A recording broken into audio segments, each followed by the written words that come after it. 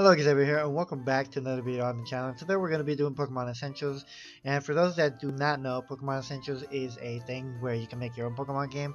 It just takes some hard work and time uh, but uh, basically I'm just here to show you guys how I uh, make my maps. As you can see this map took me a while. I got this one out of my memory but uh, it took a while to figure out how I would like it and stuff but the the best way that I personally uh, like to do my maps is I actually like to do a little rough sketch.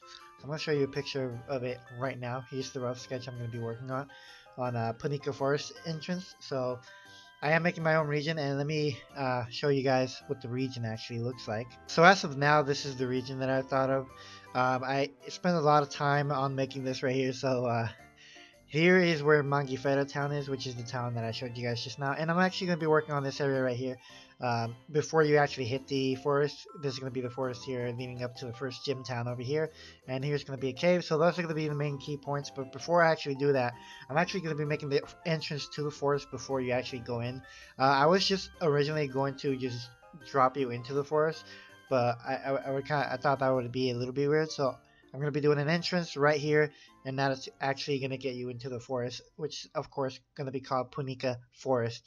Now let's get right into this. So jumping right into it right now, um, basically all I'm going to do is go up here, and then I'm going to make a new map. Um, it's going to be outside. I'm using the uh, black and white tiles because I actually do like those. I like the uh, the actual, you know, graphics of it. So uh, for now, I'm just going to go with a regular 20 I, I am going to be making it bigger, but basically, um, I'm just going to be making a rough sketch of... Uh, I'm actually going to be looking at my rough sketch while I make this. So, there we go. Um, let's see how small it is, though. Compared to this, I'd say... I'd like to make it bigger. Of course, let me make sure to put, um, right here, Punica Forest entrance. That way, I know which one it is, and I won't get confused. Let's make it a 30 by 25 uh, increase it by 10 hopefully that's a good amount. And then we're gonna go back to this and copy this. I'm actually gonna let me I'm gonna do is actually take this out because I like my tiles to be nice and even. I don't want any uh, weird looking tiles. Okay so this is of course the base floor. Uh, this is you know you got the base floor the mid section and the top section. And and basically the way it works is you know it's just layers. It's like for those of you that are, are aware of like Clip Studio or Photoshop, there's layers on your art stuff. So like for example, let's say here, as you can see, the bottom piece is here. This is the background. Then you got the top layer. You put a house down, and you know if you put another house over it, at the end it's gonna look like this. Of course, this is not what it's gonna look like, but basically it's it's like layered. So you gotta watch out. Uh, let me take that out of the screen. Uh, but that's essentially what it is, just layers. So we're going to work with what I have here. Uh, essentially, let's go down to this right here. I'm actually going to be needing this right here, which is my main thing. So let me get this because we're actually going to be transitioning into the town. Wow, that is a big thing. I'm actually going to have to make it a lot bigger. So as you can see, I'm going to be changing the size by a lot. So going by my thing right here by my sketch. We're gonna have to ha have the height by that, and let's try this. I think that's a good amount right there. Yeah, that, that seems like a good amount. That can go down here. Uh, unfortunately, I'm going to have to go back to this again because I want to make sure it's nice and perfect. Uh, there will be times where you're going to have to, you know, edit and revision your stuff. But at the end of the day, you want to make sure that you, you have what you want. So at least that's what I'm looking for. So let me move this, say, right here. Uh, maybe right here. Yeah, that's better. Okay, so let me delete this, uh, this other one right here. We're not going to need this right here. And there we go. So that's the start of the first one. I might put this on the third layer due to the fact that I'm going to put in some trees right next to it. There's two types of trees I could use. I could use these or these, but these were look a, li a little bit more uh, appealing to me, the smaller ones. So I'm going to go with those. And as you can see in the image, I did put little uh, triangles. Those are going to be the trees. A little circle is going to be the Pokeballs course, you already know where the entrance is, so I'm going to work on the entrance. That way I can work on everything else at, uh, for now. So let's grab some trees. It doesn't need to be perfect because at the end of the day, we'll, we'll probably be coming up back to it. So I'm just going to put some trees right here. Uh, right there. Oh my god, I, I am not doing this correctly. Okay, so let's do that. Uh, entrance out would be around here, so let's clear that out. And there we go. So I, I know where it's gonna go. And now let me let's put down some more of these trees. That way I can actually make the border of where I want stuff to be. So let's let's put some stuff here. And again, I'm gonna go back to this again. I just want to make sure I get the basic uh, uh, rough sketch layout that I already uh, originally wanted to do. So we go that, and uh, I guess I'll put some trees there. Okay, so there we go. We got the basic setup that I want to go with. So um, I would like to go for. Hmm, you can see right here. Um, so yeah, basically let's let's go that. We're gonna fix it up. I could do a speed run uh, because it, it is gonna take a while, uh, but uh, that's up to you guys. Let me know down in the comments below if you would like me to just show you how I do it. I'm gonna speed it up though. Put some nice music in the background. I mean, there's already some music in the background, but I'm gonna speed it up. You guys are gonna see my process and how I do this. So I'll get back to you guys once I'm done.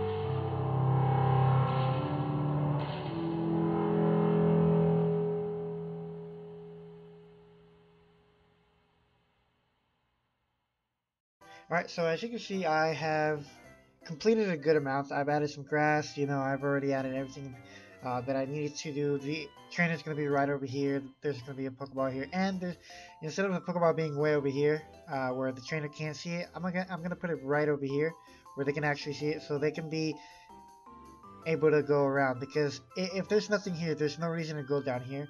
So I'll put a little Pokeball over here instead of over here. That way they can just go down this way. This way, if they, and also I put this little hill right here just in case they don't want to go through this, they can just go down go back in town if they need to do that. Now, there's a pretty big gap here. I'm, I'm not the biggest fan of having a gap here, but I do have these, and I do intend to use them. I wonder if uh, they work on this right here. See. They, eh, they kind of work, but they don't at the same time. So, what I'm going to do I'm actually to make a little right here. And see how that looks. I'm not sure how it's to look uh, in the final process. Let's see how that looks. Uh, that actually looks interesting to me. Nah, that does not look good. Alright, so before I finish, let me just uh, add a little bit of these stuff here. I might add a few trees here more. Uh, I'll show you guys the final product, of course. But hey, uh, let me know what you thought of this. Let me know what else I can do to uh, for these videos. If not, I'll just keep doing maps. And then uh, if you are interested in just seeing me do some maps, also let me know should I speed run this or should I just talk about it uh, while I do the speed run or if you just prefer to listen to music while I do the speed run. Just let me know down in the comments below. Thank you for watching this video of Pokemon Essentials. I have completed a, a I have completed a general sense of what I wanted to do, so that that's good. And I did add a few extra stuff. I touched up on some stuff. As you can see, I did this as well on this side on the left. I put the uh, the little mountain here because I do want it to be as close to the uh, town map as possible. So it, it is going towards the mountain on the side. So just uh, adding a little steep hill, and then that's going to go into the forest as well. Uh, and then that's when the cave is going to be able to go inside. But yeah, thank you guys for watching uh, this video of Pokemon Essentials. Make sure to leave a like uh, and comment below, please. Uh, I want to hear what you guys think I should do with this uh, Pokemon Essentials. And yeah, let me know. Thank you guys for watching. I'll see you guys next time. See ya.